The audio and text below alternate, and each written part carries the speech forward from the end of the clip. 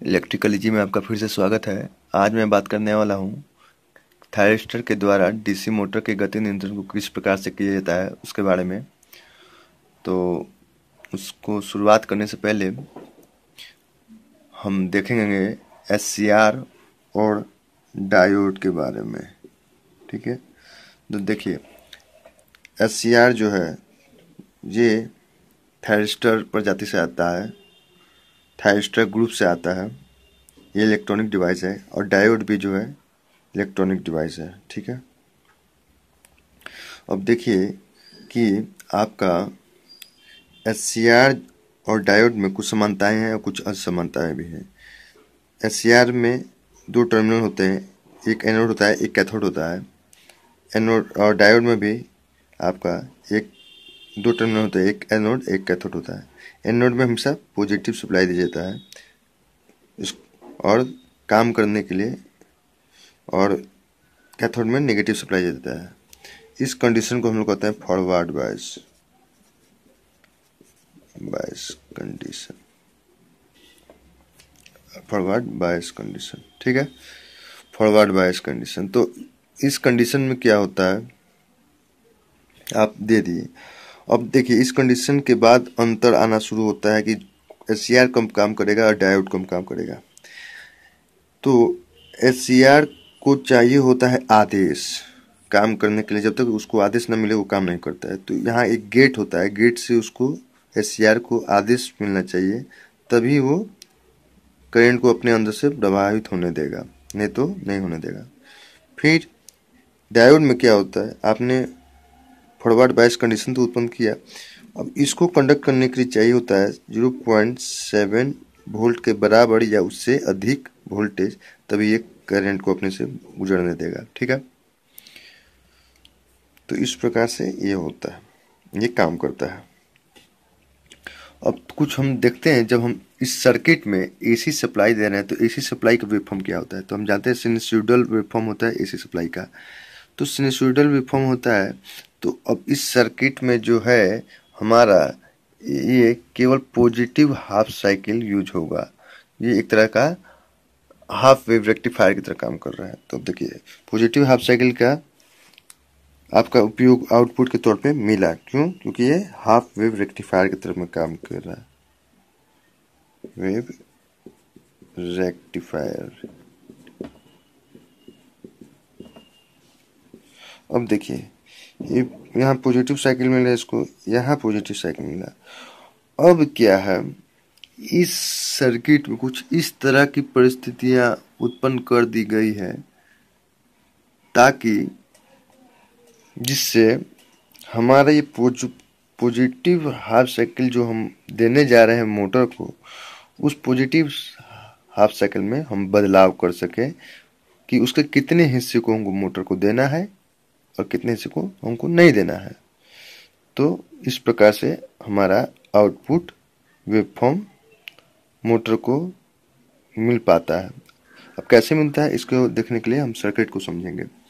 यहाँ देखिए, हम जानते हैं कि अगर दो रजिस्टर सपोज़ कीजिए आर वन है और आर टू है, इस पर वोल्टेज भी देते हैं। भी देते हैं तो ये भी वन और भी टू में बढ़ जाएगा। उसी प्रकार से अगर हम इसमें तीन रजिस्टर कनेक्ट कर दें, और इसमें सेम वोल्टेज भी देते हैं तो ये भी वन भी टू और भी थ्री में बढ़ जाएगा।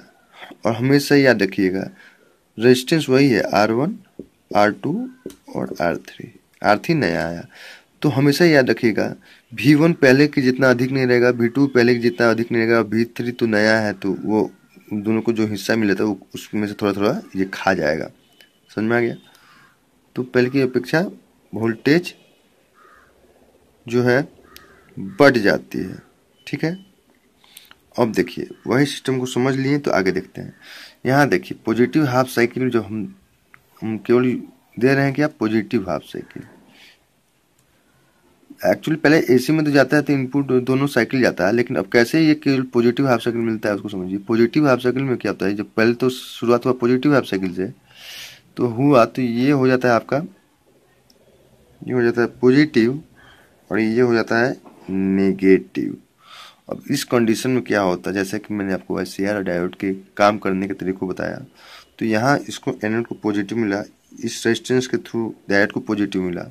नेगेटिव के द्वारा नेगेटिव पॉइंट जो मिला, मोटर के द्वारा कैथोड को नेगेटिव मिला और डायोड के कैथोड को भी नेगेटिव मिल गया। इस कंडीशन ये तो आपको फॉरवर्ड बेस्ड कंडीशन मिल गया। है लेकिन अब बात है कि इसको गेट में सिग्नल चाहिए, आदेश चाहिए। वो आदेश किसके द्वारा मिल रहा है? डायोड के द्वारा। अब डायोड जो है कब कंडक्ट करेगा? जब 0.7 वोल्ट के बराबर या उससे अधिक वोल्टेज रहे तब।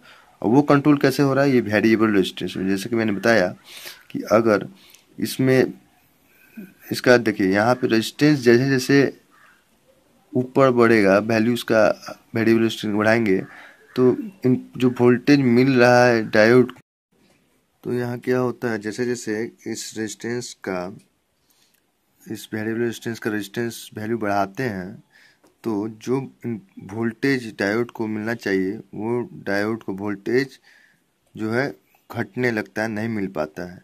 अब ये जब तक इसको डायोड को 0.7 वोल्ट के बराबर या उससे अधिक वोल्टेज नहीं मिलेगा, तब तक वो कंडक्ट करेगा नहीं। और कंडक्ट नहीं करेगा तो सिग्नल एस के गेट को मिलेगा नहीं।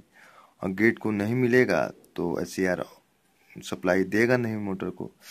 तो इस कारण से यहाँ पे हम जो है इस पॉजिटिव हाफ़ साइकिल का किस प्रकार से यूज़ करना है, वो कंट्रोल कैसे हो रहा है? इस वेरिएबल रेजिस्टेंस के वैल्यू से।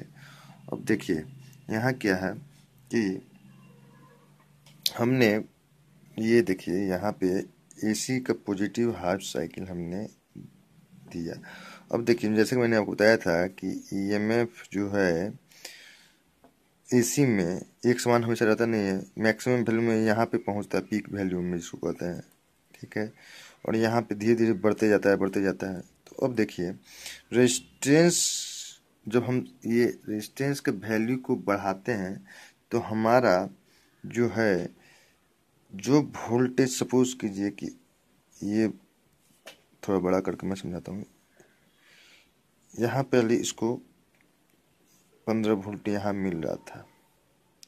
यहाँ पहुँचते पहुँचते पंद्रह वोल्ट उसको एक मिनट सॉरी सॉरी देखिए, यहाँ पे क्या है, सबसे शुरुआत में अगर यहाँ पे हमारा बिल्कुल शुरुआत में ही आपको ज़ीरो पॉइंट सेवन वोल्ट यहीं से प्राप्त हो रहा था, जब डायोड जो है डायरेक्ट इस आर वन से था, तब हमको ज़ीरो पॉइंट सेवन वोल्ट यहीं से मिल जा रहा था। इसी शुरुआत के जस्ट तुरंत बाद से तो आपका मोटर कंटिन्यू इतना दूर तक के लिए कंडक्ट कर रहा था रन कर रहा था, ठीक है? लेकिन जब हम उसमें तो जब हम वेरिएबल रेजिस्टेंस को कनेक्ट कर दिए तो क्या हुआ? जो ज़ीरो वैल्यू के तुरंत बाद आपको उसको जो वोल्टेज मिलना चाहिए था ज़ीरो पॉइंट सेवन वोल्ट वो अब उस वेरिएबल रेजिस्टेंस के लग जाने के कारण वो अब मिल रहा है यहाँ पर। इसके बाद से, इस पॉइंट के बाद से मिल रहा है। तो बाकी समय तो वो ऑफ़ हो गया। बाकी समय क्या है? वो ऑफ़ है। डायोड कंडक्ट करेगा नहीं, कंडक्ट करेगा नहीं तो गेट को आदेश देगा नहीं। आ गेट को आदेश देगा नहीं तो मोटर को सप्लाई मिलेगा नहीं। तो इस तरह से, इस तरह ये ऑफ़ कंडीशन में तो रहा। उसके बाद जब उसको ज़ीरो पॉइंट सेवन वोल्ट यहाँ से मिल गया, मिलना शुरू हुआ, तब वो कंडक्ट करना शुरू किया। और वो तब कंडक्ट किया, तब इतना हिस्सा मोटर को सप्लाई मिला। तो ये जो ज़ीरो पॉइंट सेवन वोल्ट कभी यहाँ से मिल रहा है डायोड को कभी एकदम बगल से मिल रहा है, या हो सकता है आगे अगर रेजिस्टेंस वैल्यू ज़्यादा कर दिया जाए तो हो सकता है उसको जो है यहाँ से ऑन होना शुरू कर दे। तो यहाँ रेजिस्टेंस का वैल्यू और हाई होगा, वेरिएबल रेजिस्टेंस का। तो कहने का अर्थ यह है कि कि जैसा जैसा हाई वैल्यू रखते हैं हम वेरिएबल रेजिस्टेंस का इस वेरिएबल रेजिस्टेंस का वैल्यू हाई रखते हैं, उतना देर से इस डायोड को 0.7 वोल्ट या उससे अब उनको वोल्टेज मिल पाता है और उसके बाद ही ये कंडक्ट कर पाता है। इस कारण से जो है, आपका हमेशा आउटपुट जो है जो है आपका इस मोटर को इस प्रकार से मिलता है, इस प्रकार से मिलता है। अब देखिए मैंने क्यों कहा कि हाफ़ वेव रेक्टिफायर की तरह ही काम करता है? अब देखिए निगेटिव हाफ़ साइकिल जब आया तो ये हो जाएगा पॉजिटिव ये हो जाएगा निगेटिव निगेटिव अब जिसके कारण ये चल जाएगा किसमें ये, इस कंडीशन को कहते हैं। अब देखिए एनोड को निगेटिव मिल गया और कैथोड को इसके थ्रू पॉजिटिव मिल गया, और यहाँ पर भी नेगेटिव मिल गया। ठीक है? और यहाँ पॉजिटिव पॉजिटिव मिल गया। तो इस कंडीशन को कहते हैं क्या? रिवर्स्ड बायस मतलब जब भी एनोड को नेगेटिव कैथोड को पॉजिटिव मिले तो उसको कहते हैं रिवर्स बायस ठीक है? रिवर्स बायस कहते हैं। इस कंडीशन में ये कुचालक की तरह काम करेगा, ये भी कुचालक की तरह काम करेगा और आपका मोटर में तो सप्लाई जाने के बाद उठता ही नहीं है। तो नेगेटिव हाफ़ साइकिल का उपयोग नहीं हो रहा है। केवल केवल पॉजिटिव हाफ़ साइकिल का उपयोग हो रहा है। इसलिए ये एक तरह से हाफ़ वेव रेक्टिफायर की तरह काम करेगा। और हाफ़ वेव रेक्टिफायर में जो पॉजिटिव साइकिल मिला उसके कितने हिस्से को यूटिलाइज करना है, वो हमारे सर्किट में इसी प्रकार का प्रबंध किया गया है। और इस तरह से आपका डीसी मोटर का स्पीड कंट्रोल हो पा रहा है। आप लोगों का वीडियो देखने के लिए बहुत बहुत धन्यवाद।